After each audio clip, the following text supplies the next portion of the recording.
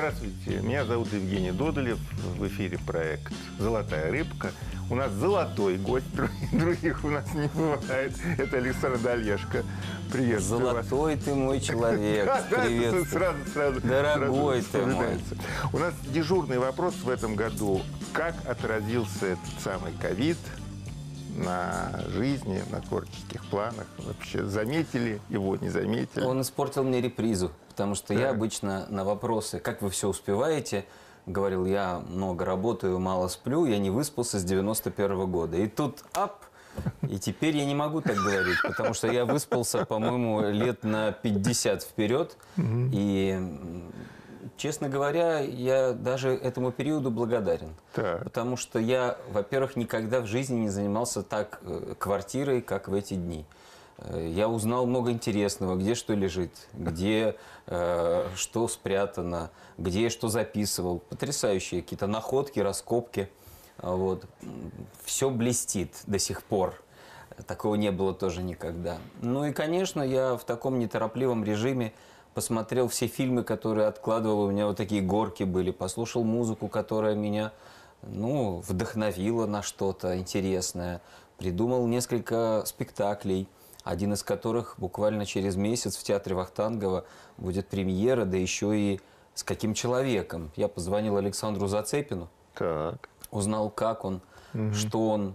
Э, все-таки А я уточню, вы были знакомы? да, конечно. Да. Мы с ним были Да. знакомы. Я имел честь э, э, вести его юбилейные вечера, его концерты, не говоря уж о том, что, как и все, кто не умеет петь, значит, с радостью пел его песни. Так вот, я позвонил Зацепину, все-таки у него серьезный возраст, э, без пяти сто. Понимаете? Да, э, практически. И он с воодушевлением поддержал мою идею. Вот через месяц в театре Вахтангова сказка о царе Салтане в моем единоличном исполнении я буду по ролям То есть читать. золотая рыбка просто совсем Абсолютно, просто, абсолютно точно. да. Вот. И, э, ну, это, как сказать, в продолжение 220-летия Пушкина. Вот. Я предложил Зацепину, он с такой радостью, с таким задором, с такой энергией, с такой включенностью написал потрясающую музыку. И вот мы вышли после карантина, отрепетировали с оркестром. Так что я времени зря не терял. Кое-что придумал для нас Нонной Гришаевой. Кучу придумал разных идей своим друзьям, коллегам. Мне вообще не, не страшно и не, не жалко эти идеи кому-то вот пре- презентовать, говорить, э, раздавать. Да, пожалуйста, мне еще придет. Так что я вообще работал, но неспешно. Честно говоря, первые две недели было сложно. Они как-то очень тянулись, тянулись долго-долго, и мне казалось, что уже прошло месяца два. А потом оно все как-то пак-пак-пак-пак быстро, и э, как-то уже вот вышли все на волю. Наверное, все три котика были рады, что наконец-то... Три котика, ну, вы знаете, мои, они на меня смотрели с каким-то таким даже уже каким-то укором. В чем дело? Я не понимаю, э, что ты сделаешь в нашем доме? Почему вдруг ты тут спишь? Что, что происходит? Уже уходи отсюда. Вот. Э, Это было действительно интересно. Но что вам сказать? Конечно, тревожно, как и всем нормальным людям. Но что тут вот делать вид, что а, вот, да, ничего этого нет. Э, Мины, так сказать, рядом взрываются Да. и, и люди болеют. Но э, это такое вот, видимо, уникальное испытание для нас, живущих вот сейчас, в 21 веке. Значит, надо его достойно пройти, не потерять себя, не потерять э, веру в себя, здоровье не потерять. А образ жизни как-то изменился теперь уже, когда э, нет карантина, привычки э, откорректировались как-то или Э, ну, все вернулось? Да нет, вот в кармане маска, перчатки, значит, я стараюсь как-то это э, не Многие забывать. стали меньше ходить э, в заведение общепита. Э, Да, м, ну, э, я особо, так сказать, и э, не могу сказать, что у меня вот было время как-то вот вести такую богемную, красивую жизнь, хотя я живу прям в эпицентре этой Ну богемной да, жизни, это э, на Патриарших Патриарши, прудах, где да. вокруг просто Да. такой, э, э, такой сохо, понимаете, вот. Но все люди не местные. Вот, помните, раньше были, сами мы люди не местные, а теперь люди не местные, они опероли шприц, они все очень модные, э, значит, очень как бы продвинутые, как бы, но ярко себя демонстрирующие и заявляющие, вот мы здесь, а мы, кто здесь да- давно и, так сказать, и, ну, как бы по праву места прописки, мы как бы отброс общества. Хотя мой сосед Сергей Шакуров, Сергей Каюмович, э, он вот очень рад этой движухе. Он говорит, да что вы все ноете, вот, посмотрите, люди, все. Я бы очень хотел бы, вот когда я буду вот в его возрасте, также это воспринимать. Там же еще и Збруев сосед, Збруева вижу точно, через точно день. так же, по-моему, Збруева реагирует. вижу через день, он молчаливо, так сказать, он, мы когда встречаемся, он мне все время говорит, поменьше. поме-». Мы с ним сугубо про профессию. Он мне говорит о том, что я должен поменьше появляться на экране, на телеэкране, Да. вдумчиво. Да, да, да. Э, Ну, в чем-то он прав. Э, э, Где-то, наверное, я его слышу, но иду своей дорогой, потому что у каждого человека все-таки своя жизнь. И я ведь когда появляюсь на, на экране, не для того, чтобы вот он, я, видите, вот он, я вываливаюсь из телевизора. Нет. Вот я к вам пришел. Да я за счастье, понимаете, мне интересно А поговорить. какое счастье. Вот, э, поговорить с интересным человеком, да еще и с золотой э, рыбкой. Дядя Вова зовут Карася. Дядя Вова? Да, Вова Это не девочка? Э, Это карась, поэтому он... А, он- понятно. То есть вы его зажарите, если что. Какая у него Мы- мы- судьба Мы страшная. надеемся его откормить. Понятно. А вот э, насчет э, общепит, насчет ресторанов э, спросил не просто так. Вы ведь, э, как, как, допустим, принято у голливудских звезд в начале пути подрабатывали официантом. Да, да, Был- да. был- был- был- Три с половиной года Был по же такой ночам. период.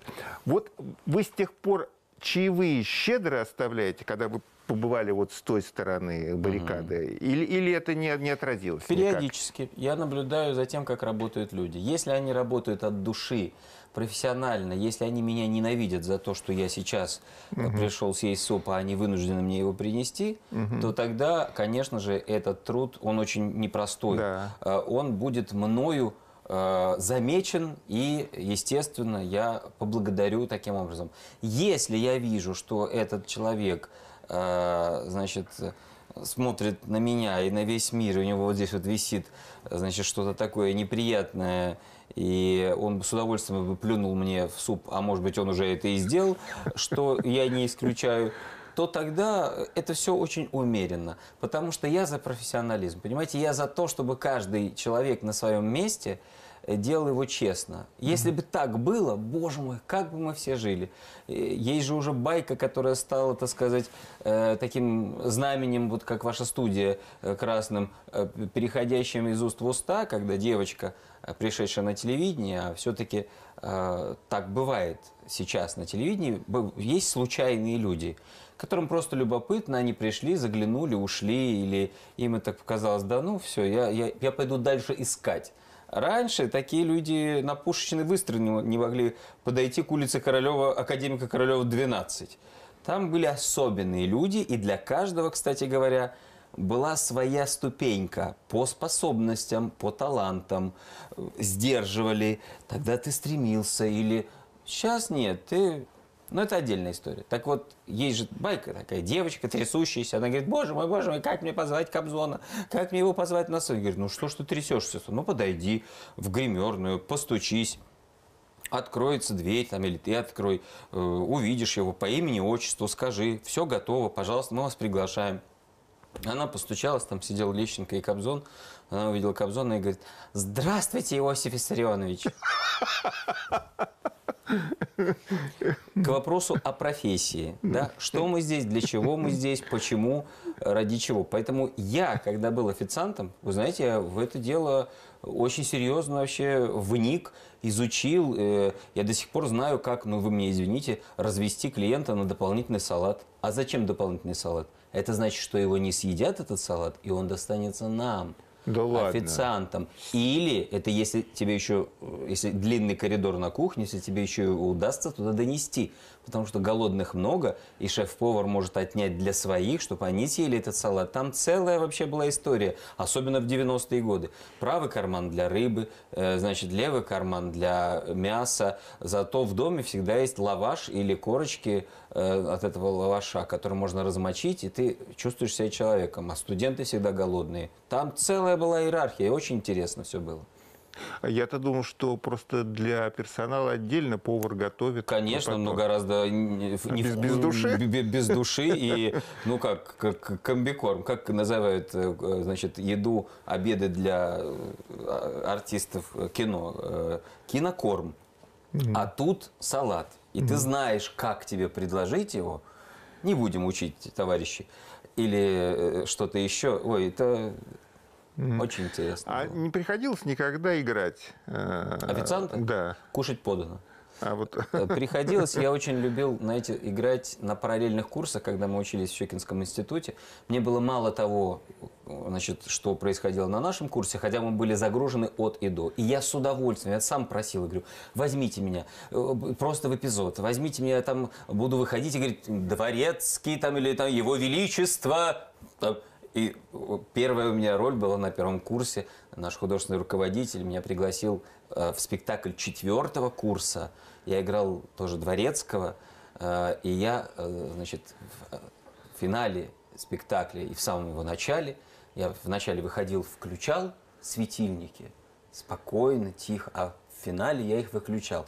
Он мне как-то однажды сделал замечание, говорит, ты не мог бы побыстрее уже их выключать? А думаю, пускай смотрят и запоминают, что вот я... А вторая моя большая роль была из-за кулис. Я кричал, дайте, пожалуйста, огурцы! И это было очень важно, потому что если я вовремя не, не крикну «дайте, пожалуйста, огурцы», э, там не произойдет следующее событие, не, не услышит эту реплику, и я мог бы сорвать спектакль. Это еще очень интересно.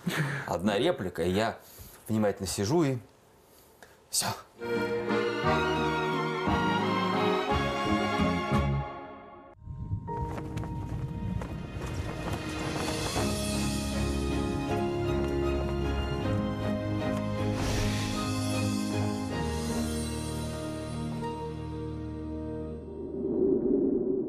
Кобзон был упомянут, э, ваш любимый и наш любимый э, всей страной Иосиф Давыдович, вы в одном из интервью прям с восторгом э, рассказывали, что он никогда в, в- том костюме, в котором выходил на сцену, он никогда не присаживался, чтобы на, на брюках не было складок, что он всегда стоял Да. и ждал своего выхода.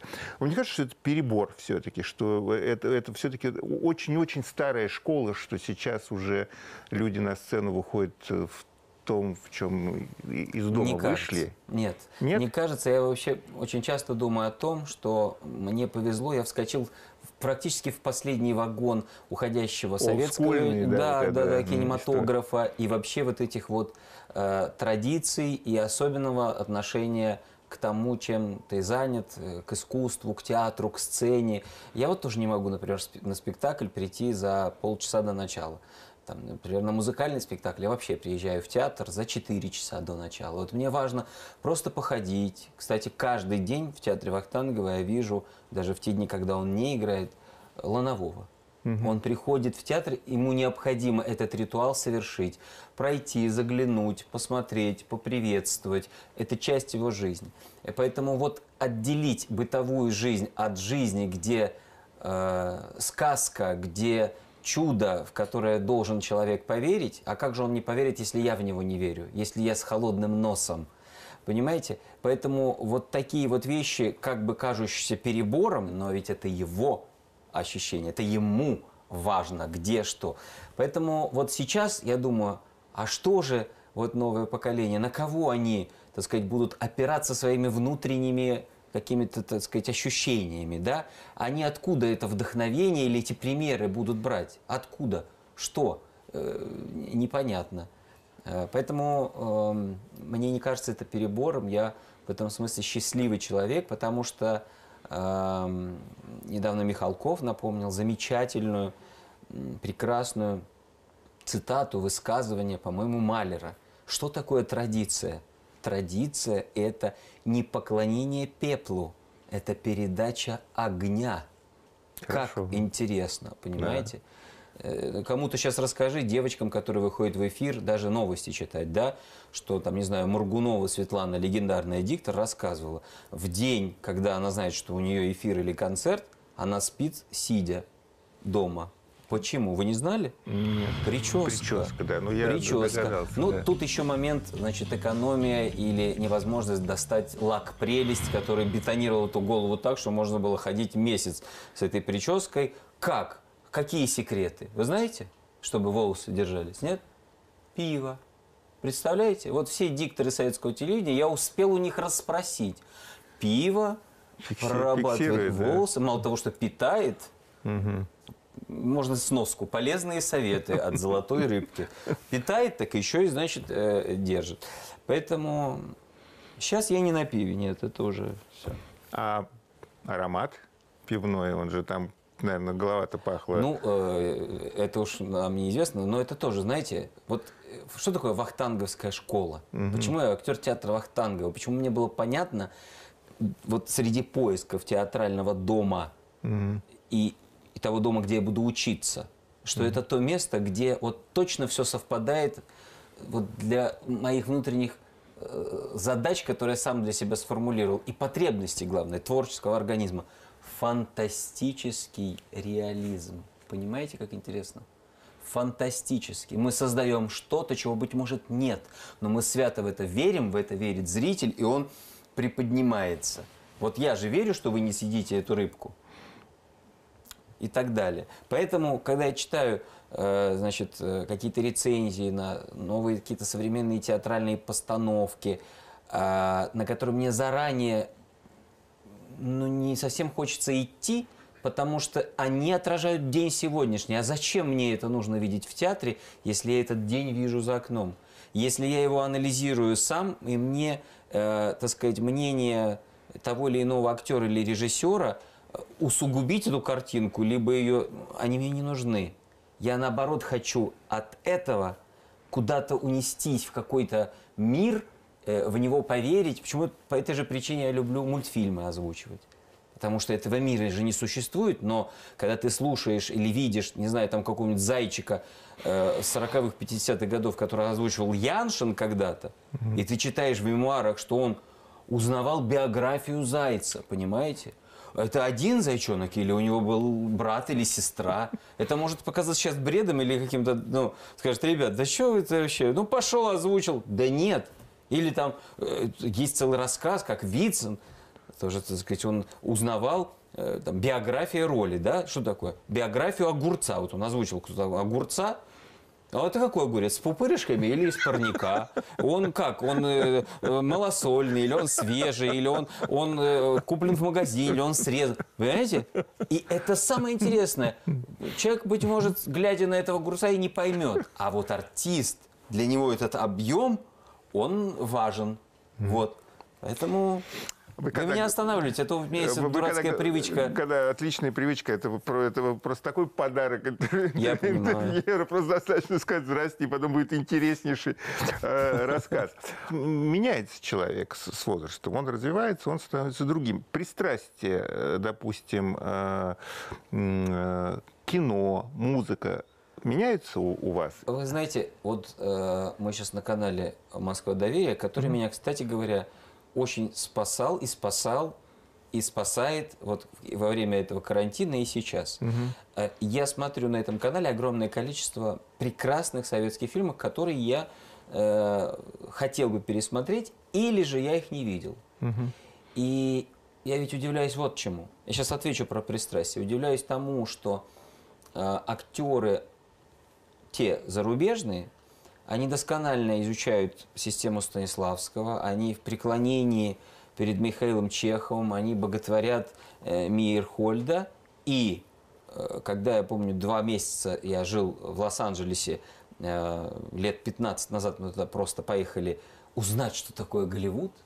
И когда мы уже, так сказать, много чего видели, и оказались э, ни много ни мало и в гостях у Милы Йовович, и э, Рене Зельвегер, и э, на одной улице, значит, там по серпантину чуть выше Джек Николсон, к нему, значит, пришли в гости тут же полицейские. Мы, «Мы, извините, Джек Николсон не принимает. Все они изучают и очень внимательно советский кинематограф. Способ существования э, человека в кадре. Вы представляете? А мы это как бы, да, ну это все, все. Вот они, боги. Потрясающе. Мы сидим на золотом сундуке, но смотрим туда, откуда из этого золотого сундука они забирают. Вот я на канале Москва доверие с радостью сейчас смотрю все эти фильмы и смотрел, и понимаю, что я не могу предать тот период, и я учусь у, у них. Огромное количество художников, актеров, сценаристов, операторов, режиссеров, композиторов, их уже нет.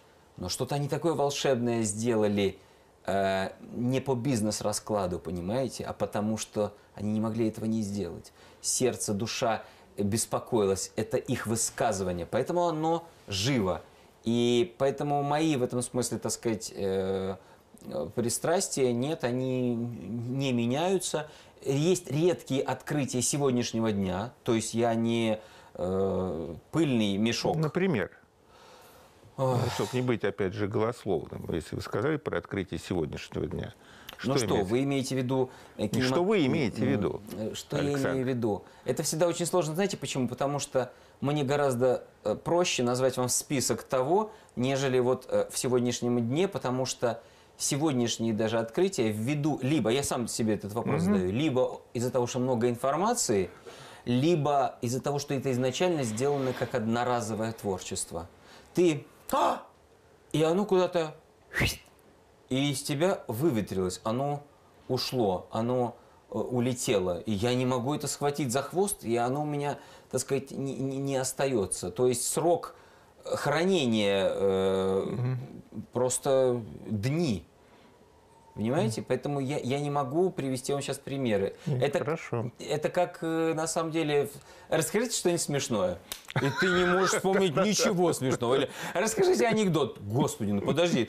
Пять минут назад ты там в гримерке сыпал этими анекдотами. Вспомни. Нет. Что это? Потому что это вспоминается по поводу, это вот вспоминается в хорошей беседе, в хорошей компании. Ты мне, я тебе, петелька-крючочек, как говорят у нас в Щекинском институте. А так, чтобы вот сейчас я буду вспоминать смешное. Или нет, это стендап-комики, там, комеди клаб. И то, выученное смешное. Александр, вы когда по Калифорнию говорили, вы сказали «мы». С кем в компании вы ездили? Там Это была же- целая компания э, вот нас, выпускников разных курсов, э, мальчики, девочки, и мы поехали узнавать, мы поехали отдыхать, значит, узнавать, что такое Америка и, конечно, что такое Голливуд. Ну, естественно, значит, у кого-то какие-то знакомства, значит, э, и мы ходили на какие-то вечеринки, э, ходили в гости к э, вот нашим уехавшим, эмигрировавшим когда-то, э, узнать, как же они, там, сказать, живут, существуют.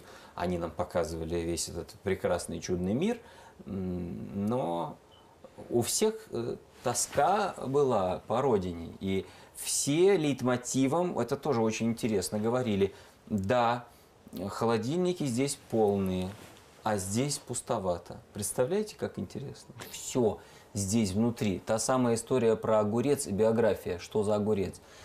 И для меня это было очень интересно, когда внутри такая борьба, а я ведь все-таки еще и на телевидении в таком жанре работаю, где я чуть поярче, погромче, побыстрее, по... э, чем я в жизни вообще спокойный, тихий и такой... Я про, по- насчет того, что вы достаточно, А. конечно, закрытый человек, как, как мне представляется. А зачем вот это? э, Не знаю, это вопрос к ко многим вашим коллегам. Зачем Ну, вот так это? вот, когда они придут, вы у них спросите, зачем это? Мне кажется, что должна быть какая-то все-таки дистанция. Но не случайно э, в детстве, это я очень хорошо запомнил, на холодильник соседка э, плакат приклеила «Иди ту пьеху». И мама моя говорит, Люд, ты что эту пьеху-то на холодильник-то приклеила? Она говорит, вот когда на нее смотрю, я понимаю, что жрать меньше надо. Вы понимаете? Потому что, ну это же, ну вот пьеха в цветах, она что, дома, э, чайник тоже в, в- в длинных платьях и с паричом? Нет, но мы ее такой не знаем и не видим. И таких примеров много.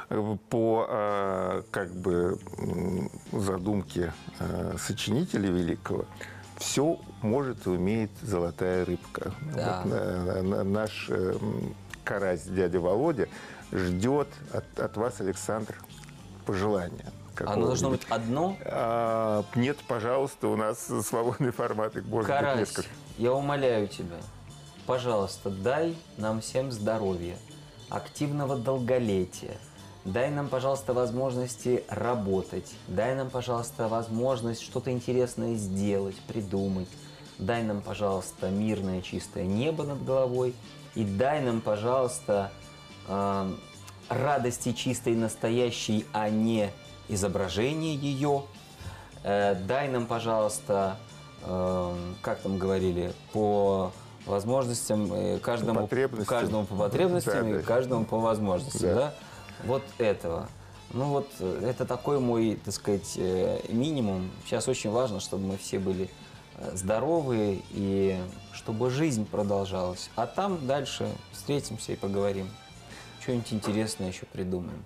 Александр, вы редкий представитель своего цеха, который э, с удовольствием, как кажется по, по рассказывает э, о других, а не о себе. Э, уже не знаю, каков генезис, э, вот это, может быть, вы что-то э, скрываете из, своей биографии, но э, вас э, лично мне всегда очень приятно слышать и видеть. Огромное вам спасибо. Спасибо вам большое.